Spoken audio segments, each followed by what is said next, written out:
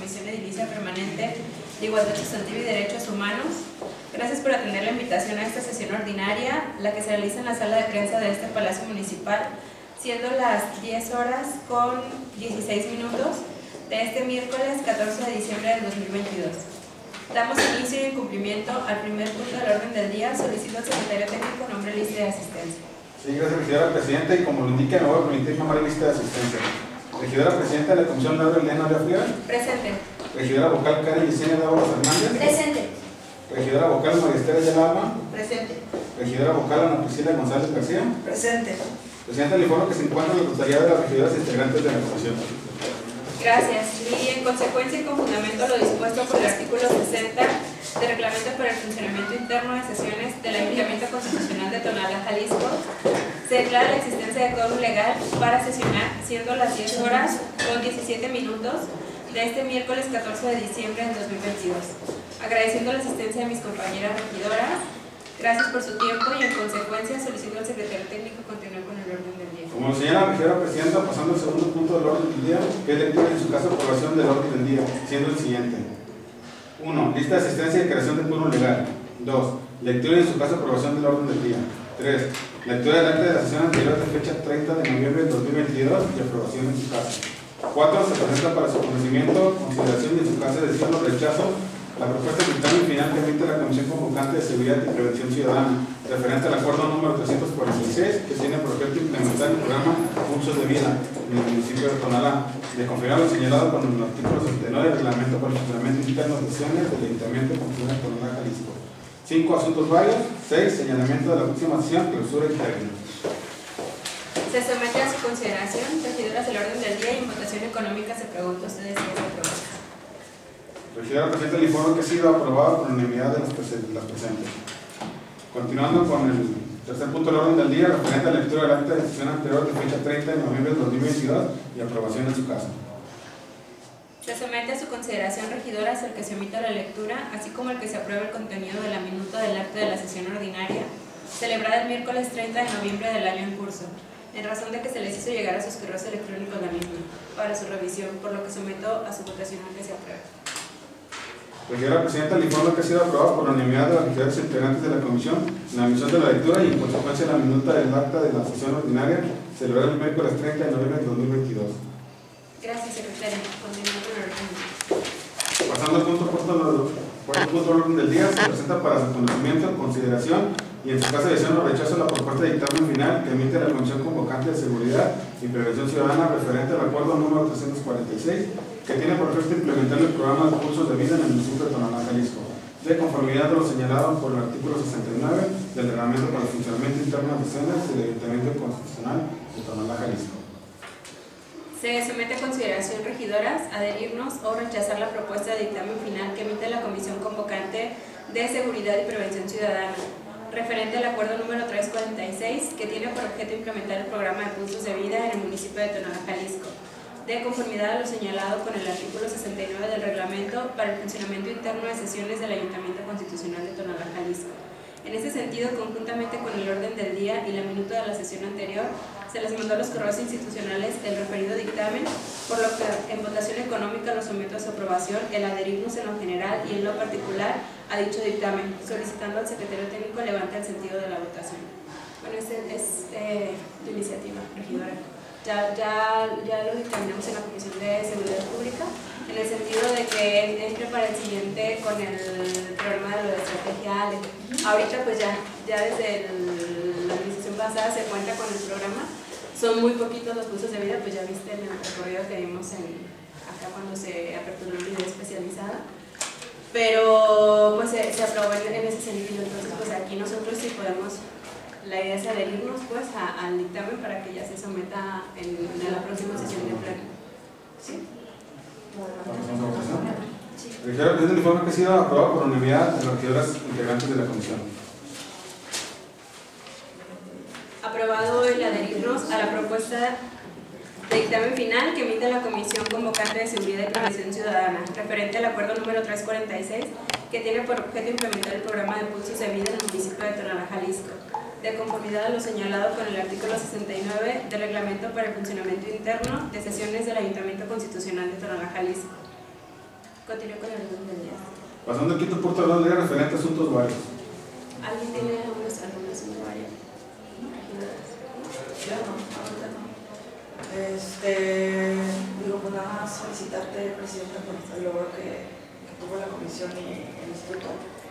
Este, uno, lo que vimos el, la semana pasada, hace unos 10 días, como la estrategia de la línea igual este, y todo lo que se viene, porque se logró mayor presupuesto, esperemos que para el siguiente año todavía vengan más, porque faltan muchísimo, 3 millones eh, se me hace poco realmente para las necesidades, las problemáticas que tenemos en el municipio y con diferentes eh, temas que tratamos, en, no uno en específico.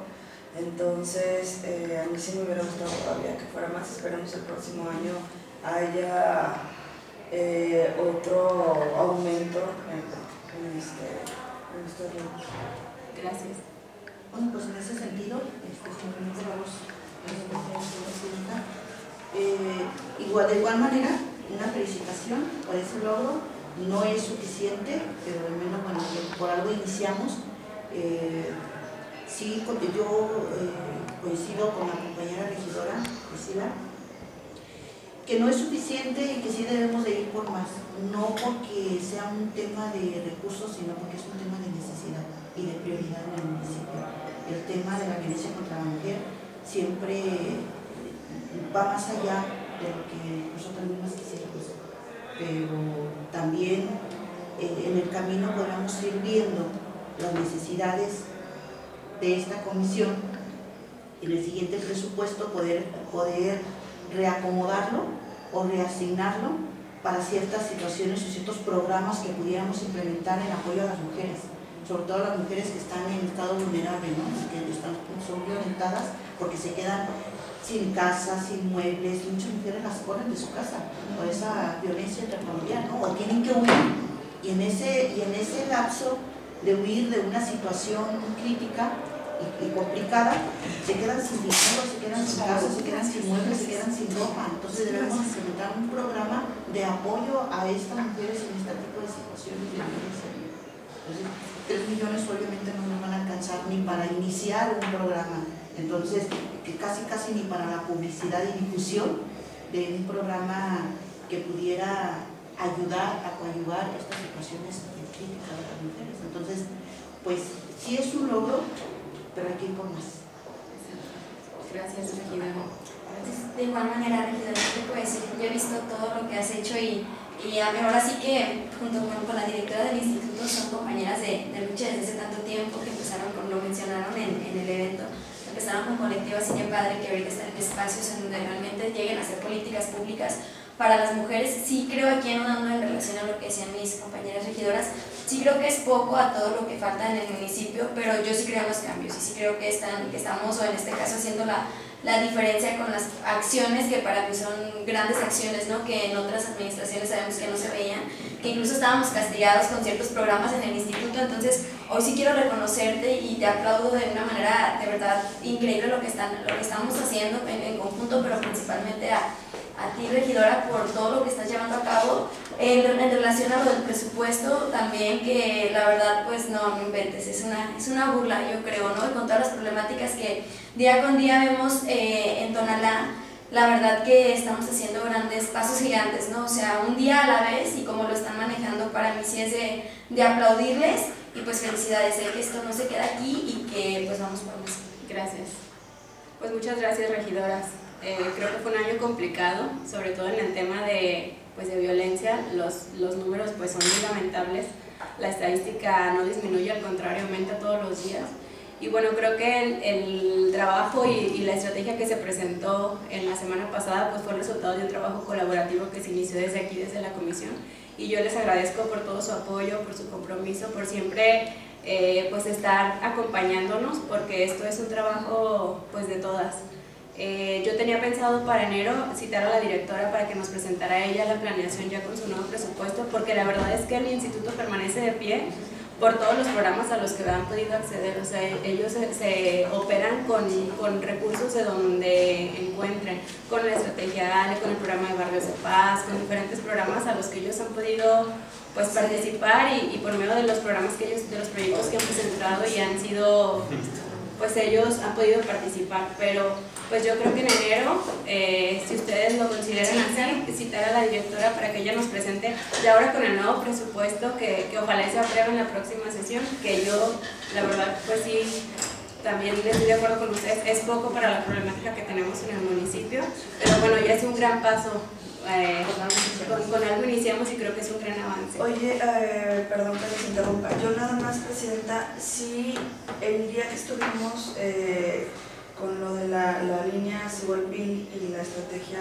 Bianca y todo lo que, se viene, si me, me, hubiera gustado y sí me gustaría más bien, digo, ya no hacia atrás, sino para adelante, que tanto tú como la, la directora del Instituto de la Mujer, que nos hicieras eh, un poco más parte de, de, todo lo que se venga.